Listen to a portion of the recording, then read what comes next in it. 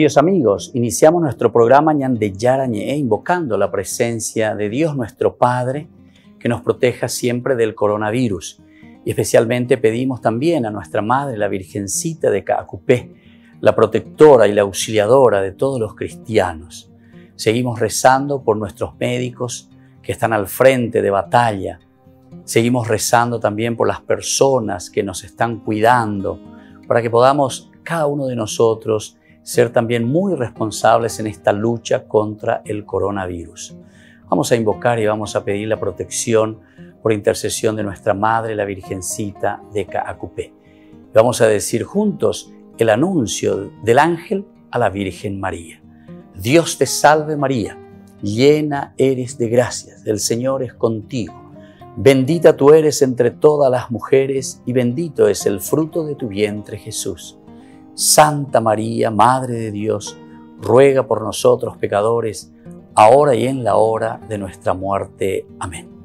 Y pidiendo que se cumpla también la voluntad del Señor en nuestra comunidad, en nuestras familias, en nuestro país, seguimos rezando e implorando por nuestra nación, por nuestros gobernantes y por todos los que están en este camino de cuidarnos y ayudarnos a que podamos nosotros salir adelante en esta lucha tan importante. Y decimos juntos, Padre nuestro, que estás en el cielo, santificado sea tu nombre, venga a nosotros tu reino, hágase tu voluntad así en la tierra como en el cielo. Danos hoy nuestro pan de cada día, perdona nuestras ofensas, como también nosotros perdonamos a los que nos ofenden, y no nos dejes caer en la tentación, y líbranos del mal. Amén. Todas las programaciones de Ñande Yarañe tienen el apoyo de la Fundación Santa Librada.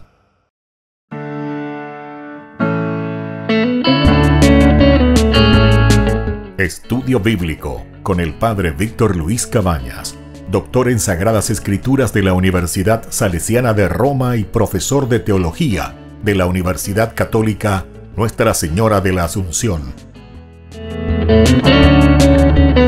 Y porque la palabra es pan de vida, les invitamos a reflexionar con Ñandeyara Ñee.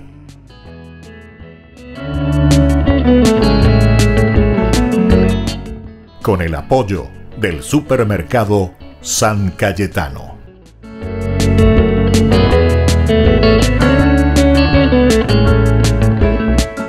Queridos amigos, estamos iniciando nuestro programa Ñandeyara e Antiguo Testamento.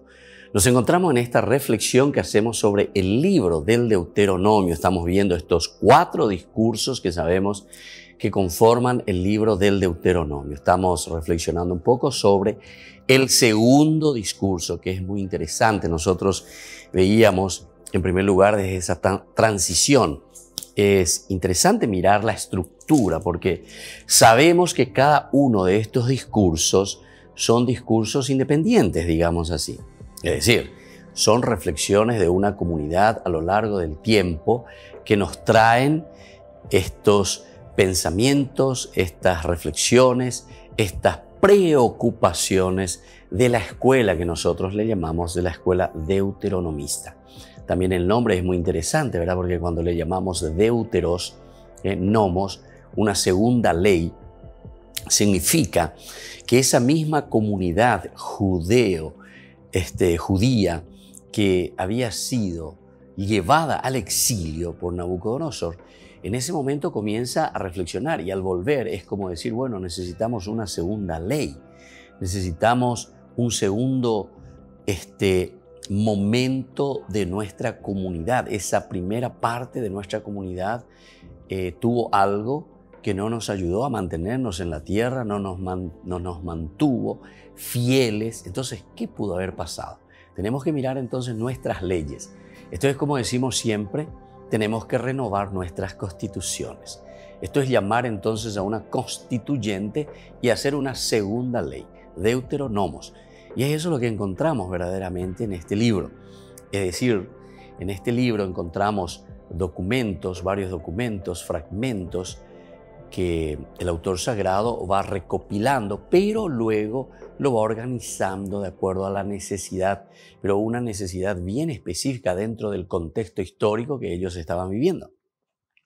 Y entonces comienzan a agregar esos elementos necesarios para que la comunidad, porque todo está en función de la comunidad, se nota enseguida cómo tiene que vivir la comunidad de acuerdo a lo que Dios le está pidiendo.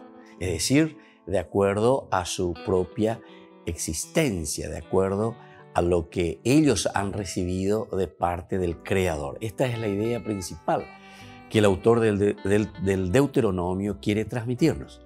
Y entonces se va ordenando. Por eso siempre decimos que la Biblia, más que es algo que fue, ¿cuándo fue escrito? ¿verdad? No podemos preguntarnos tanto, ¿verdad? ¿Cuándo fue escrito la Biblia? Como una cosa que alguien que se sienta en el escritorio y comienza a escribir uno detrás de otro. No. Aquí nosotros enseguida nos damos cuenta que la Biblia se fue escribiendo poco a poco con estos fragmentos, pero después tenemos el elemento fundamental y esencial que es el ordenamiento. El autor sagrado lo que está haciendo es ordenando estos fragmentos, estos elementos que tiene a disposición. Y es así como encontramos estas leyes. Y ahí, en ese eh, ubicar, en ese ordenar los materiales que tiene a disposición, él va introduciendo algunos elementos que hacen que tenga pie y cabeza, decimos nosotros, ¿verdad? Toda la, la elaboración de este libro. Entonces yo les estaba diciendo que en ese capítulo 11 se nos abre la posibilidad de lo que viene a continuación desde el capítulo 12, que es la cuestión de la legislación deuteronómica. Nosotros en los cursos anteriores ya estuvimos mirando, fuimos entrando qué clase de legislaciones vamos teniendo. Porque Moisés decía en el capítulo 11, ya al final, cuando ustedes posean la tierra y vivan en ella, cumplan fielmente todos los preceptos y leyes que hoy les impongo.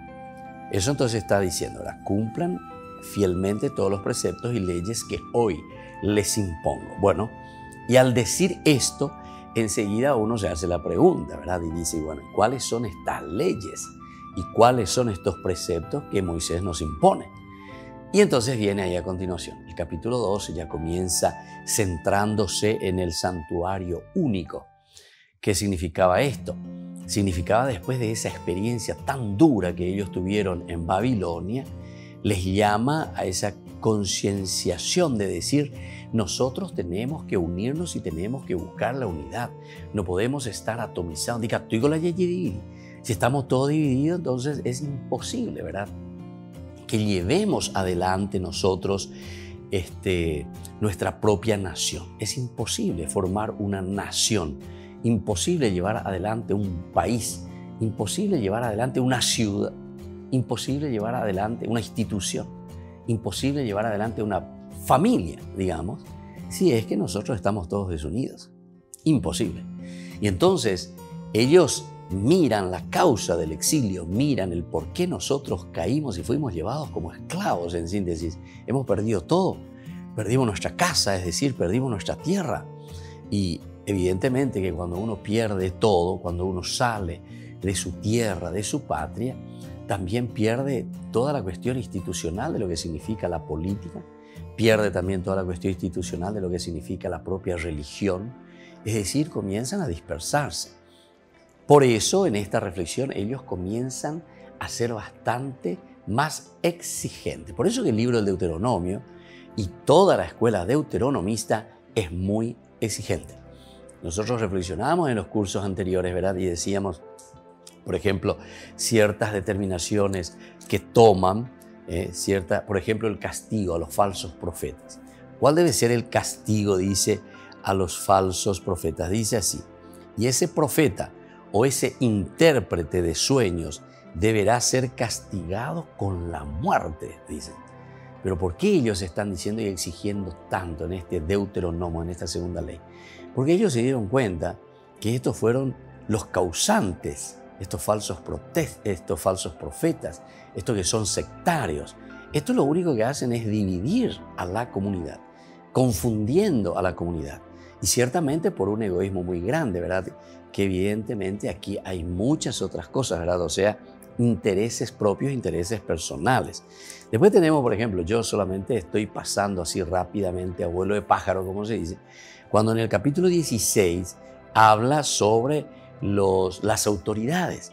esta relación con las autoridades o cuál debe ser la relación de las autoridades con respecto al pueblo. Imagínense lo que les dice a las autoridades. No tergiversarás el derecho, no harás acepción de personas, ni te dejarás sobornar.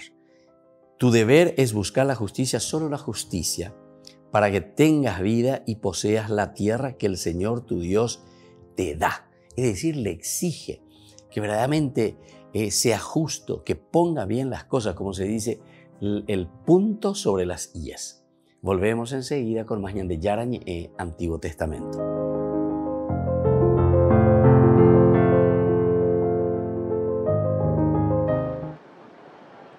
En el Día Mundial de las Misiones, el Papa dijo que los misioneros son tejedores de fraternidad y pidió rezar por los que viven en lugares de persecución o quienes arriesgan su vida.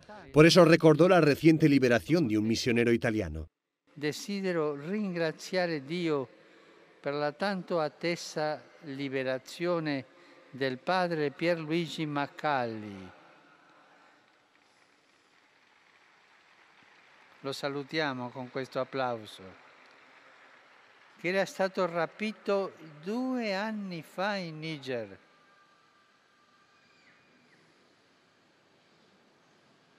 Francisco también recordó a los 18 pescadores italianos que están secuestrados en Libia. Pidió oraciones por ellos y para que mejore la situación en el país. Fratelli e sorelle, è giunta l'ora di fermare ogni forma di ostilità, favorendo il dialogo che porti alla pace, alla stabilità e all'unità del Paese. Preghiamo insieme per i pescatori e per la Libia, en silencio.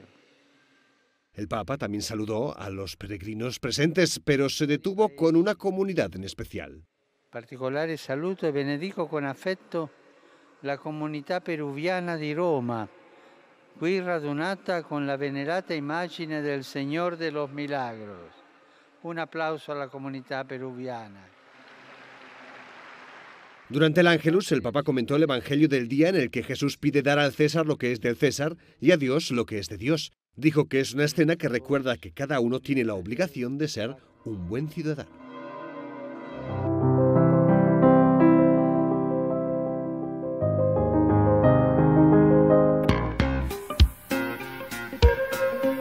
En la ciudad de Luque, la economía se llama Supermercado San Cayetano. Compruebe sus precios bajos en productos cárnicos de primera calidad.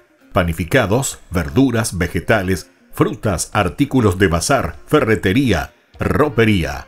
Supermercado San Cayetano. Humaitá 168 Casi Capitán Vado, Ciudad de Luque.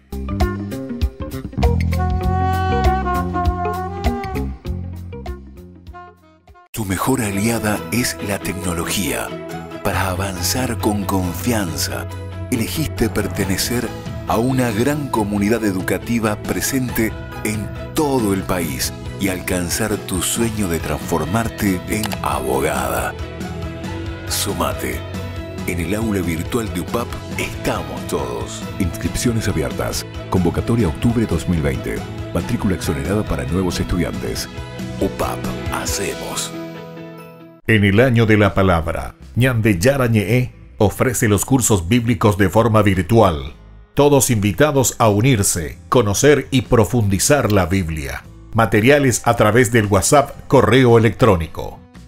Se accederán a los cursos en la plataforma Zoom a través del ID que se proporcionará al participante unos minutos antes de empezar la clase.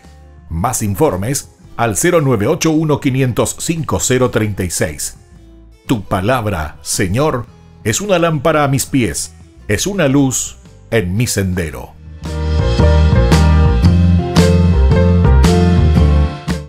Tu mejor aliada es la tecnología. Para avanzar con confianza, elegiste pertenecer a una gran comunidad educativa presente en todo el país y alcanzar tu sueño de transformarte en arquitecto. Sumate en el aula virtual de UPAP estamos todos. Inscripciones abiertas. Convocatoria octubre 2020. Matrícula exonerada para nuevos estudiantes. UPAP. Hacemos.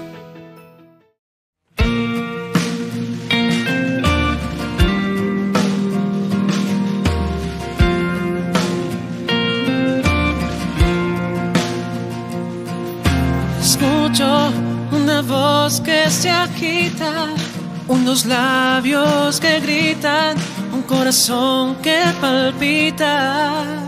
No es un murmullo que se alza y disipa, es una voz que te invita, es una voz que predica. Y te habla de Dios y de su amor, de tu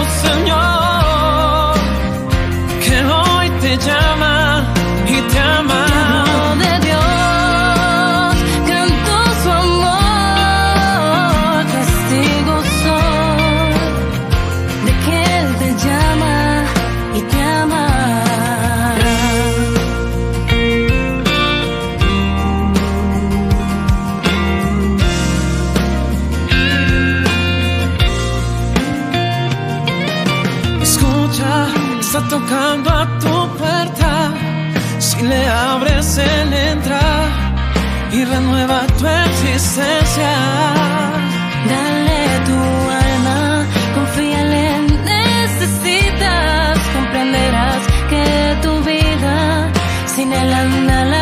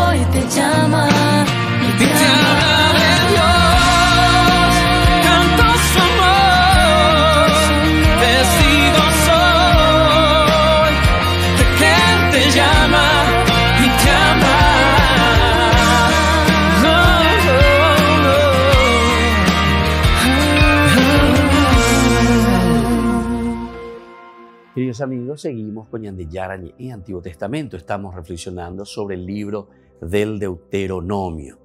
Estamos viendo esta parte legislativa de lo que encontramos en el libro de Deuteronomio, ciertamente, de lo que Moisés está dejando al pueblo. Entonces entramos ahora y miramos estas relaciones humanas y sociales que ya hemos hablado, que va del capítulo 19 al 25. Nosotros hablábamos al inicio de las ciudades de refugio y el derecho de asilo. En el fondo, en el fondo, lo que nosotros encontramos e hicimos una comparación, encontramos aquí el, en cuanto al derecho que ellos están queriendo dar a esa persona que dice que asesinó a alguien, es un homicida, es preciso evitar que el vengador del homicidio persiga lleno de furor al homicida, porque este fue, le provocó, dice, la muerte eh, sin querer. Eh, fue, y, y te pone incluso el ejemplo. Estaban en el bosque, dice, estaban cortando leña y sin querer el hacha eh, se le va eh, contra la otra persona, se le cae encima, lo mata. Entonces, claro, estando ellos dos solos ahí en el bosque, quién sabe qué pudo haber sucedido, ¿verdad? si fue así verdaderamente. En fin, pero aquí se lo considera eh, libre de toda culpa. Pero se nota que eh, podrían buscar la venganza, ¿verdad?, contra esta persona. Y por lo tanto, ellos tienen las ciudades de refugio. Es buscando en realidad la defensa de la vida. Esta es la defensa de la vida.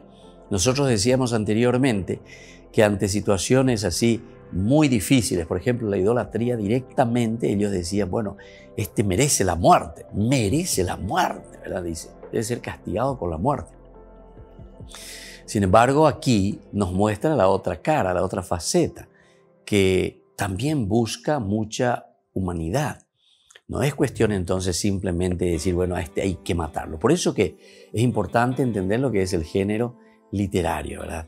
Estos géneros que se utilizan en la Biblia, que también nosotros lo utilizamos. Nosotros hemos puesto también el ejemplo, cuántas veces dijimos, te voy a matar, te voy a matar por lo que hiciste. Nosotros decimos también así, esas expresiones. O esto que hizo merece la muerte, también nosotros decimos, ¿verdad? Solamente que aquí está escrito, entonces nosotros podemos entender que esta era verdaderamente la ley, así tal cual. Y entonces se ponía al pie de la letra. No, por eso que la Biblia hay que estudiar bien y hay que entender. Estas son expresiones también dentro del género este narrativo que nos está explicando y nos está diciendo que eso que se ha hecho o que se hace dentro de la comunidad no está bien. Y entonces dice, esa acción que ustedes hicieron, esa acción merece la muerte. Eso hay que extirpar verdaderamente del pueblo y así sucesivamente, ¿verdad? Hay muchos de estos elementos que aparecen en nuestro libro del Deuteronomio. Y no solamente en el libro del Deuteronomio, ¿verdad? Porque nosotros sabemos que la escuela deuteronomista es una escuela que tiene la influencia sobre muchas otras este, entidades ¿eh? dentro de, incluso dentro de la reflexión del Antiguo Testamento. Dentro de los libros encontramos muchas influencias de la escuela deuteronomista también. Bueno, vamos a seguir un poco más. Nosotros hablábamos también de los límites de la propiedad, es decir, eh, le pone muy bien los, los, los límites que tienen que haber entre las personas, entre las familias, porque esta es la relación ya de una manera este, horizontal. Toda la primera parte era más bien la relación de las personas con Dios. Ahora estamos entrando en el campo de la relación entre pares, entre los hombres, dentro de la comunidad. Por ejemplo, cómo se deben comportar los testigos o la necesidad siempre de los testigos para que dos o tres verdaderamente puedan testimoniar ciertas acciones un poco más difíciles. Luego tenemos en el capítulo 20 algunas instrucciones a los combatientes, el asedio a las ciudades enemigas, eso tenemos en el capítulo 20. Cuando te acerques, dice, a una ciudad para atacarla primero, le ofrecerás la paz, le ofrecerás la paz. También se dan cuenta que aquí hay un poco de humanidad, digamos, o sea, no pongamos simplemente al frente de todo lo bélico, lo bélico. Entonces, porque se Joma, a Yeyucapata, cuanto y vamos a hacer guerra y a pelearnos. No. Primero dice, ofrecerás la paz cuando hay situaciones, ¿verdad? Difíciles. Si ella la acepta y te abre sus puertas, toda la población te pagará tributo y te servirá. Bueno, entonces aquí hay una, este, ¿cómo que se dice? Un verit, ¿verdad? O sea, un trato con esa ciudad, qué es lo que se tiene que hacer. Pero si rehúsa el ofrecimiento de paz, te opone resistencia, deberás sitiarla. Cuando el Señor tu Dios la ponga en tus manos, tú pasarás al filo de la espada a todos sus varones. En cuanto a las mujeres, los niños, el ganado, cualquier otra cosa que haya en la ciudad, podrás retenerlos como botín y disfrutar de los despojos de los enemigos que el Señor tu Dios te entrega. Esta era una forma muy común cómo actuaban sobre todo los asirios. Asirios eran terribles, ¿eh? son los primeros, ¿verdad? desde el 800 antes de Cristo, los que dominan toda esa zona, el imperio asirio. Ciertamente que después también termina el imperio asirio con su caída en el 615 bajo las manos de Babilonia. Babilonia no duró mucho tiempo porque ya en el 539 cuando llega Ciro, los persas, ¿verdad? Asumen también eso. Los persas quedan hasta el 333, en que llega Alejandro Magno, es decir, los griegos, el gran imperio griego con Alejandro Magno, que también después, con la muerte de este joven, enseguida, ya queda también en manos después de los este, que continúan del 303 hasta que llegan los romanos, hasta el 60 y dos prácticamente, 63-62, en que llegan los romanos, ingresan y entonces queda ya con el imperio romano. Y estos son los cinco, cinco grandes imperios ¿verdad? que tienen su influencia y que dejan sus escritos, su pensamiento, su forma de obrar, su forma de actuar en la Biblia. influencian muchísimo dentro de su literatura, dentro de su misma religión, las influencias. O sea, todas las peleas, por decir así, o las controversias que nosotros encontramos dentro de la Biblia, se refieren a estos cinco grandes imperios en realidad. Entonces, cómo el pueblo de Dios, como Israel, que cree en Yahvé, comienza a relacionarse con estos pueblos.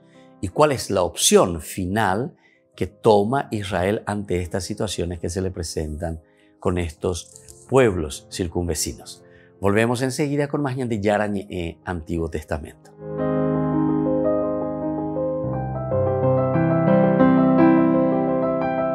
En el año de la palabra, Ñande Yarañe ofrece los cursos bíblicos de forma virtual.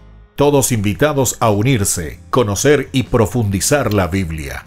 Materiales a través del WhatsApp correo electrónico.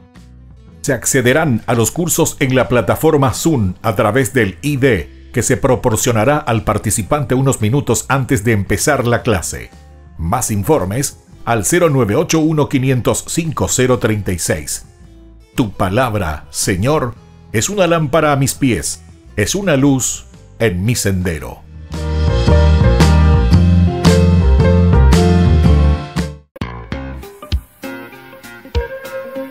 En la ciudad de Luque, la economía se llama Supermercado San Cayetano. Compruebe sus precios bajos en productos cárnicos de primera calidad. Panificados, verduras, vegetales, frutas, artículos de bazar, ferretería, ropería. Supermercado San Cayetano, Humaitá 168 Casi Capitán Vado, Ciudad de Luque.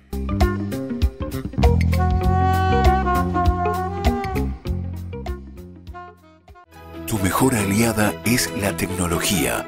Para avanzar con confianza, elegiste pertenecer a una gran comunidad educativa presente en todo el país y alcanzar tu sueño de transformarte en ingeniero. Sumate. En el aula virtual de UPAP estamos todos. Inscripciones abiertas. Convocatoria octubre 2020. Matrícula exonerada para nuevos estudiantes. UPAP. Hacemos.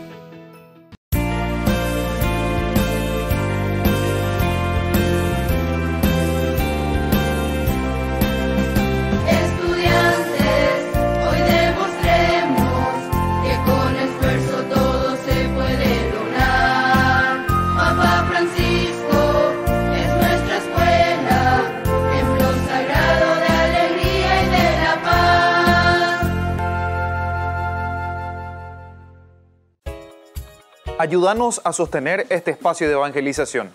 Depende de vos que esta evangelización siga a través de los medios de comunicación. Mensualmente podés abonar a esta cuenta bancaria y también a los giros Tigo. Recordá, este espacio es para vos. Muchas gracias por tu aporte. Tu mejor aliada es la tecnología.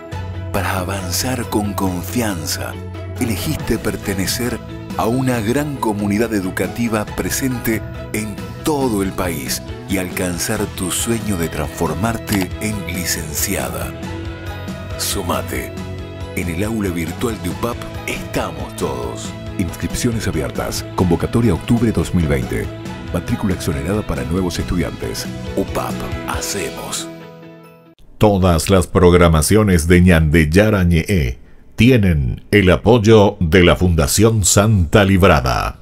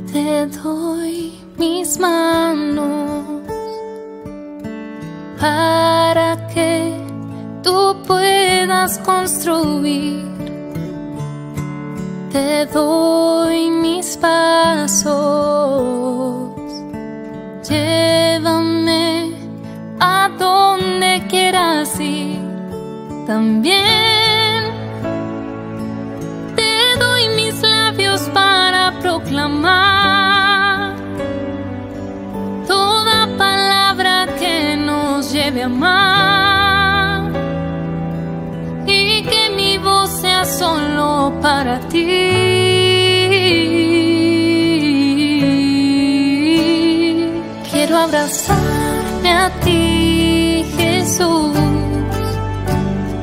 Quiero abrazarme a tus caminos, buscarte solo a ti, buscarte solo a ti, oh mi Jesús.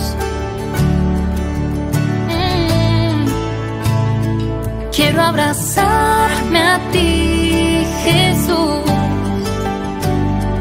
Quiero abrazarme a tus caminos, buscarte solo a ti, buscarte solo a ti, oh mi Jesús.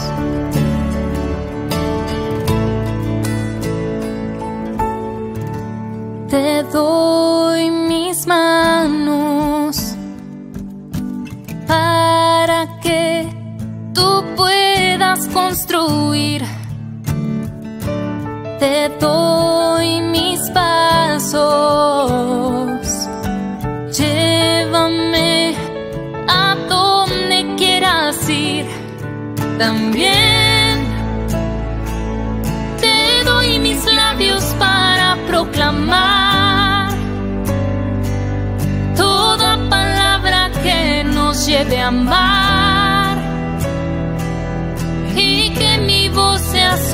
para ti. Quiero abrazarme a ti, Jesús. Quiero abrazarme a tus caminos, buscarte solo a ti, buscarte solo a ti, oh mi Jesús. Ah, quiero abrazarme a ti, Jesús.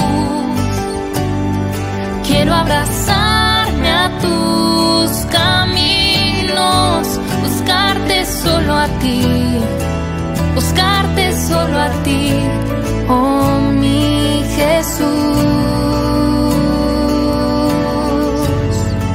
Buscarte solo a ti, buscarte solo a ti.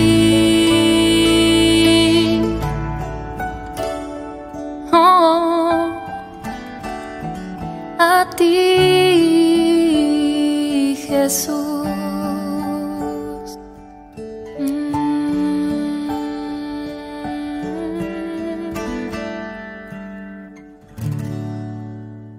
Queridos amigos, seguimos con Yandiyara e Antiguo Testamento. Estamos reflexionando sobre la palabra de Dios, estamos haciendo nuestro camino de estudio bíblico. El Antiguo Testamento mirando el libro del Deuteronomio. Estábamos hablando del asedio a las ciudades enemigas y hablábamos también de toda la influencia que dejan estos grandes imperios sobre la cultura de Israel, como así también sobre la religión de Israel, sobre las costumbres de Israel. Y así sucesivamente, como cualquier país actualmente también, donde nosotros tenemos muchas influencias de los demás. Daigo cuñande cuatijaño, añade yapo, la yei cuante. Incluso el lenguaje, ¿verdad? El idioma también tiene muchísimas influencias.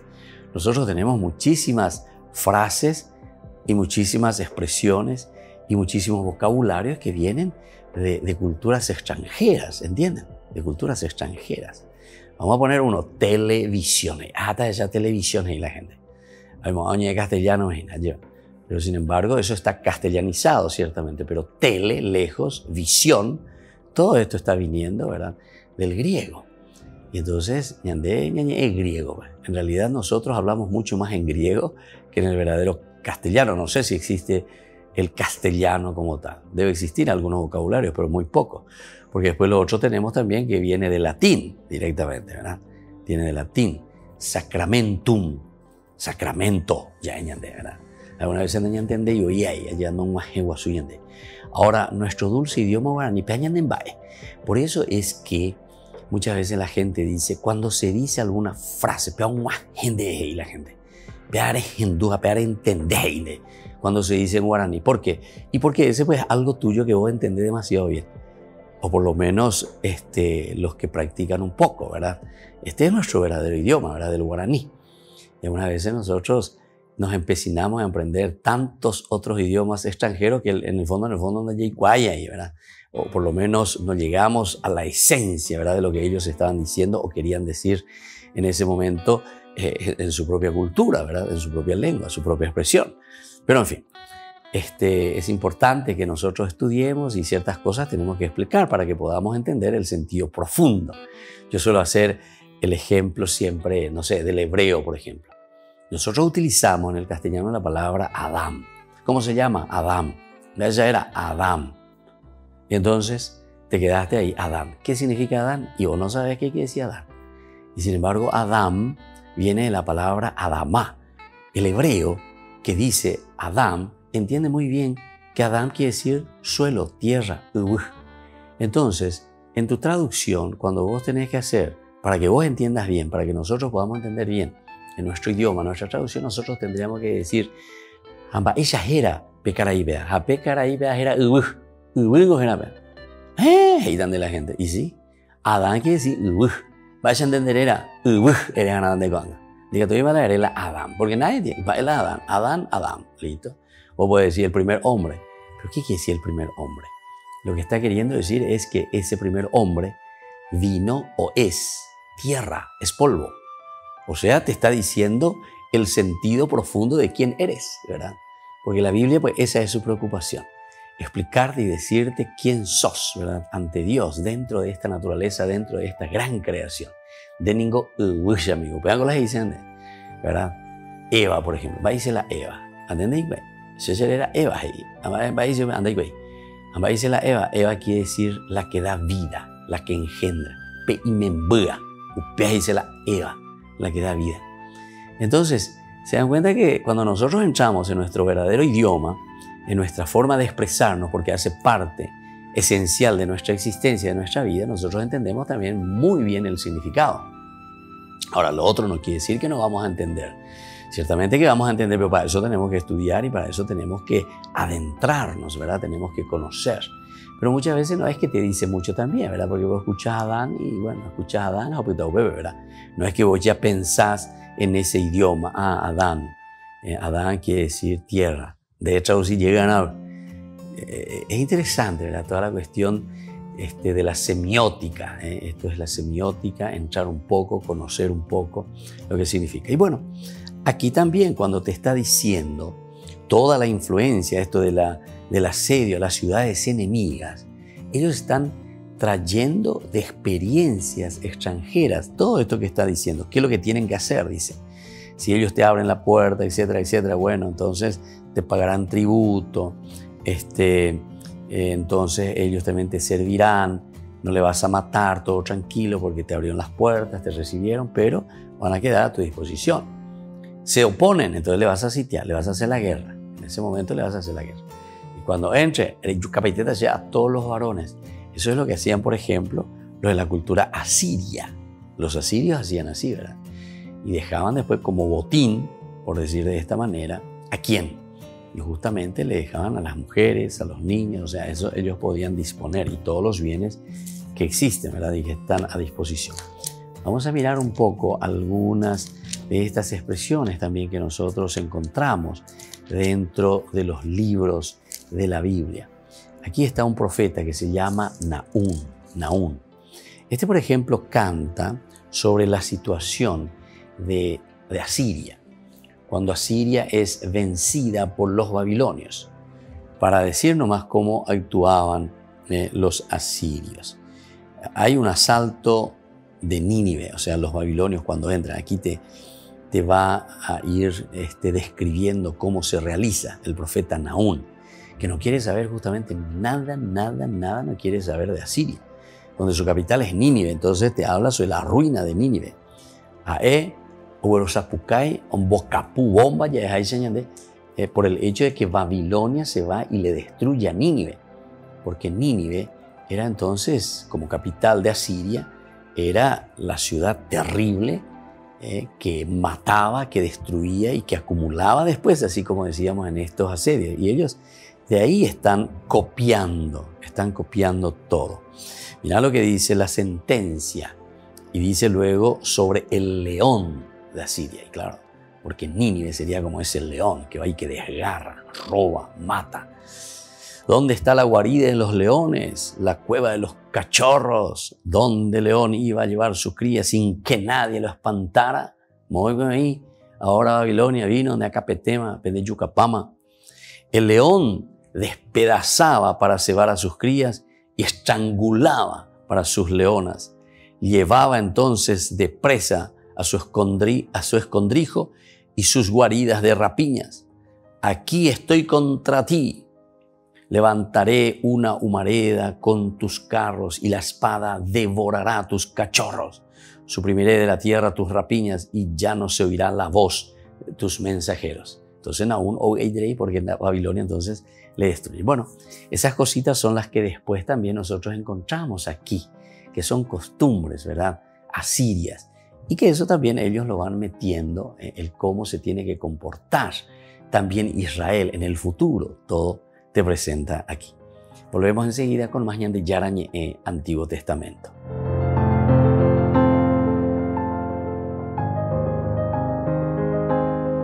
En el año de la palabra, Ñande Yarañe ofrece los cursos bíblicos de forma virtual. Todos invitados a unirse, conocer y profundizar la Biblia materiales a través del WhatsApp correo electrónico. Se accederán a los cursos en la plataforma Zoom a través del ID que se proporcionará al participante unos minutos antes de empezar la clase. Más informes al 0981 505 036. Tu palabra, Señor, es una lámpara a mis pies, es una luz en mi sendero.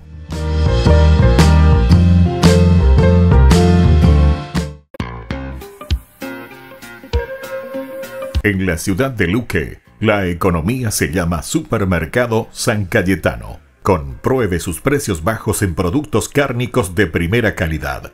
Panificados, verduras, vegetales, frutas, artículos de bazar, ferretería, ropería. Supermercado San Cayetano. Humaitá 168 Casi Capitán Vado, Ciudad de Luque.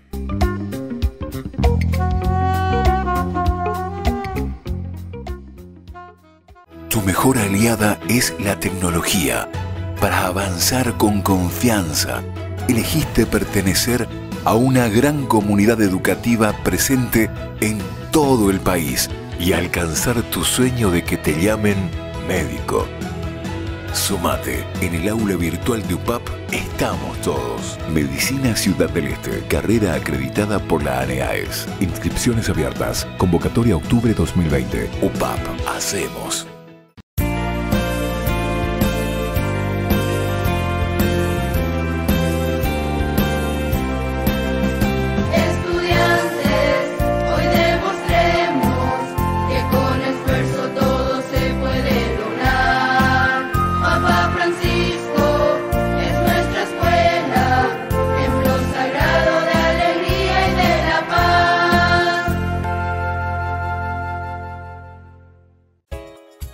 Ayúdanos a sostener este espacio de evangelización.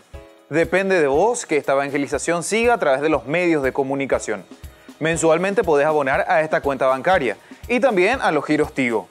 Recordá, este espacio es para vos. Muchas gracias por tu aporte. Tu mejor aliada es la tecnología. Para avanzar con confianza, elegiste pertenecer a una gran comunidad educativa presente en todo el país y alcanzar tu sueño de transformarte en abogada. Sumate. En el aula virtual de UPAP estamos todos. Inscripciones abiertas. Convocatoria octubre 2020. Matrícula exonerada para nuevos estudiantes. UPAP. Hacemos.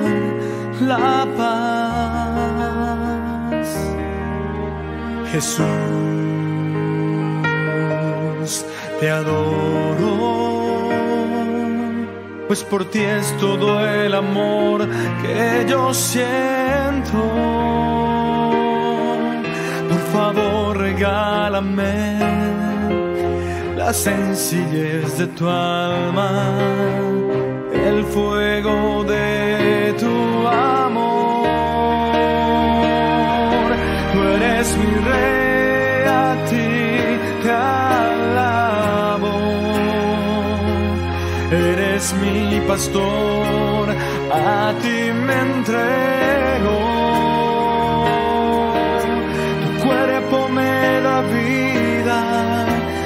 Sangre salvación. Eres mi Señor, mi Dios.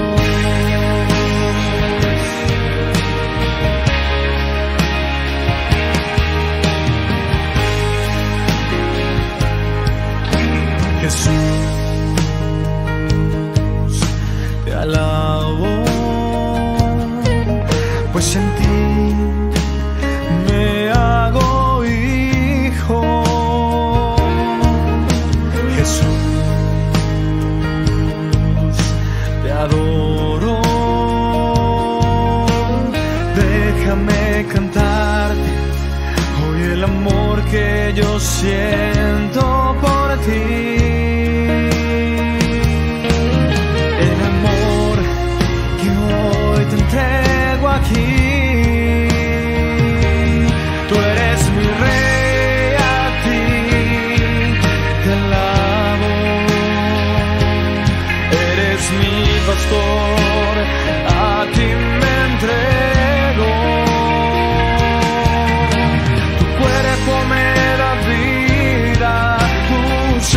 salvación. Eres mi Señor, mi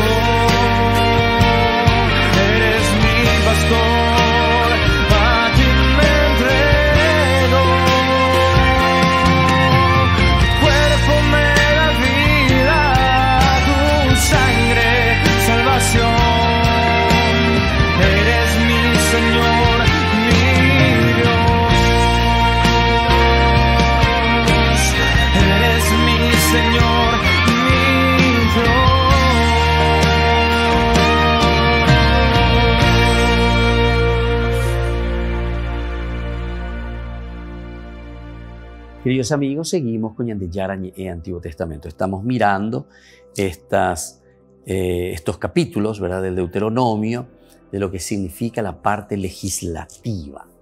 Todo lo que es en cuanto al relacionamiento ¿verdad? De, este, del hombre con el hombre, digamos, en una forma horizontal.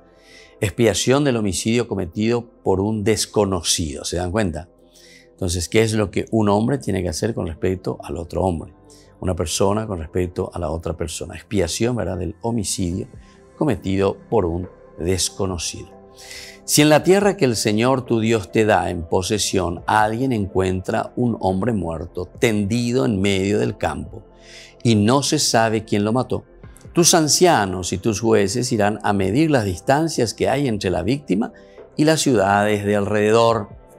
Luego los ancianos de la ciudad más cercana tomarán una ternera que no haya sido sometida a ningún trabajo ni haya estado bajo el yugo la llevarán hasta un arroyo de agua perenne, a un lugar donde no se cultiva ni se siembra, y la desnucarán junto al arroyo. También se harán presentes los sacerdotes levitas porque el Señor los eligió para que estuvieran a su servicio y para que bendijeran en su nombre. Y a ellos les corresponde resolver los litigios y los casos de agresión. Luego los ancianos de la ciudad más cercana a la víctima se lavarán las manos en el arroyo, sobre la ternera desnucada, y pronunciarán estas palabras, nuestras manos no han derramado esa sangre y nuestros ojos no han visto nada. Perdona, Señor, a tu pueblo Israel, ese pueblo que tú rescataste. No dejes recaer sangre inocente sobre tu pueblo Israel. Así quedarán absueltos del delito de sangre. De esta manera harás desaparecer de entre ustedes la sangre inocente, haciendo lo que es recto a los ojos del Señor. Entonces, estas eran formas, ¿verdad? Son ritos de expiación en este caso, ante un homicidio. Eh, aquel que fue cometido, dice, por un desconocido. Es desconocido.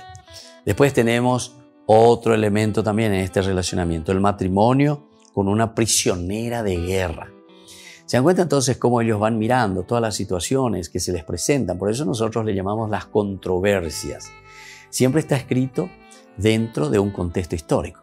Todo lo que encontramos en la Biblia siempre está respondiendo a una situación que ellos están viviendo, su contexto histórico. Pago la historia de la salvación.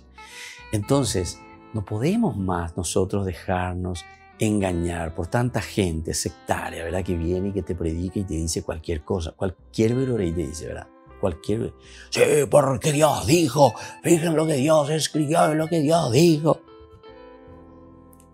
Está bien, no sé de dónde le sale eso, ¿verdad? Pero aquí cuando te dice el matrimonio con una prisionera de guerra, ¿qué es lo que estaba pasando? Y bueno, era esa la realidad. Llevaban a los prisioneros, como estábamos diciendo anteriormente, qué es lo que tenían que hacer cuando asediaban a una ciudad. Si por ahí entraban, mataban todo, dice el filo de espada, eran exigentes consigo mismos. Y entonces, después, ¿qué pasa con esas mujeres? Porque dejaban a las mujeres y dejaban a los niños. Entonces, porque con eso se puede trabajar todavía, ¿verdad? Se los puede comenzar y hacer parte del pueblo, parte de la ciudad. Y las mujeres, justamente, ¿por qué? Y bueno, porque después se le da a los soldados como botín, luego decía, como botín de guerra. Y entonces se forma una nueva familia, o sea, no hay ningún problema. Más aún porque nosotros tenemos que pensar que en ese tiempo la mujer era posesión, ¿verdad? Posesión ¿eh? del varón, posesión. Entonces, esta es mi mujer esta es mi pertenencia. Entonces podía darle y ya está. O sea, dentro de la cultura tenemos que entrar en el contexto histórico. Ahora a veces la gente quiere mirar, ¿cómo era la Biblia? ¿qué dice contra la mujer? No, no tiene nada que ver. Tenía que entrar en el contexto histórico. Dentro de mil años, dentro de dos mil años, quién sabe qué dirán de nosotros, ¿verdad? ¿Qué dirán de nosotros? O sea, en nuestro proceso, esta es nuestra cultura. Nosotros ahora si hacemos algo, decimos algo, entonces muchos se agarran el pelo y dicen, no, esto no puede ser. Dentro de mil, dos mil años, no sé, o tres mil años, eh, ¿cómo será la cultura? Eh, ¿Cuáles serán los progresos o retrocesos también? No sabemos. Aquí entonces hay que, hay que mirar y hay que entender la cultura, la manifestación, ¿verdad? Del pueblo, de la gente, cómo el hombre va creciendo. Esta es una propuesta profunda existencial donde permanecen los valores. Eso sí, se busca siempre los valores eh, y se procura enseñar. Por eso que la Biblia es un libro pedagógico, ¿verdad? Que nos agarra de la manita y nos está llevando y nos está transmitiendo los valores. Entonces te está diciendo, bueno, cómo hay que hacer, cómo hay que comportarse, cómo hay que ir mejorando ciertas cosas. Entonces, aquí en el capítulo 21 del versículo 10 al 14 nos va a hablar el matrimonio con una prisionera de guerra. ¿Qué le dice Moisés? Moisés está mirando hacia adelante, ¿verdad? Porque Moisés es el que está haciendo este discurso. Estamos mucho tiempo antes, ¿verdad? Moisés todavía no entró ni va a entrar a la tierra prometida. Pero él es como que se proyecta. Ustedes, ¿cuándo? ¿Eh? Si alguna vez tengan una guerra y tengan ahí a, las prisioneras, en este caso, las mujeres. ¿verdad? Cuando salgas a combatir contra tus enemigos y el Señor tu Dios los ponga en tus manos, si tomas algunos prisioneros y entre ellos ves una mujer hermosa que te resulta atrayente y por eso la quieres tomar por esposa, deberás llevarla a tu casa. entonces ella se rapará la cabeza, se cortará las uñas, se quitará su ropa de cautiva y permanecerá en tu casa durante un mes entero, llorando a su padre y a su madre. Solo después de esto podrás unirte a ella para ser su esposo y ella será tu mujer. Pero si más tarde dejas de quererla, le permitirás disponer de sí misma y no podrás venderla por dinero ni maltratarla, porque la has violentado. Entonces, interesante, ¿verdad? Se dan cuenta que aquí también hay mucho sobre el, cuidado. Por eso le estaba diciendo, el cuidado en el sentido de humanitario también, humanitario. O sea, no podés tratarlo de cualquier manera. No, porque esta es un botín de guerra, esta es un, eh, una prisionera. Entonces, eh, dice, no, no, no, calma, calma, calma. Eh, un mes por lo menos anotarse, un mes. De cosa, es que va a violar, ya popea, ya más, no, porque se va a ganar la guerra. Incluso después, mira un poco, le exige un tiempo, eso pues le hace pasar. ¿eh? Eh, que te pase la calentura ya. O sea, calcula y entonces le está pidiendo de cierta manera un compromiso también con la sociedad. Porque la comunidad pues depende mucho ¿verdad? de cómo nosotros, cada uno, actúa ante la sociedad. Y después al final incluso dice, bueno, si te das cuenta que no va a andar la cosa, incluso dice, no podrás venderla por dinero. Imagínate. Te está poniendo todos los detalles espera y ahí, bueno, a ver, ya todo vendemos en mercado, eh, ni maltratarla, porque has, la has violentado de cierta manera. Bueno, queridos amigos, vamos concluyendo por el día de hoy nuestro curso bíblico. Seguiremos reflexionando sobre estos elementos tan interesantes que nos pone el libro del Deuteronomio, sobre realidades muy concretas dentro del contexto histórico que estaba viviendo el pueblo de Israel. Y que la bendición de Dios descienda sobre todos ustedes, el Padre y el Hijo y el Espíritu Santo. Amén. Hasta la próxima con más de Yarañe Antiguo Testamento. Todas las programaciones de Ñande Yarañe tienen el apoyo de la Fundación Santa Librada. Esto fue Ñande Yarañe con el Padre Víctor Luis Cabañas.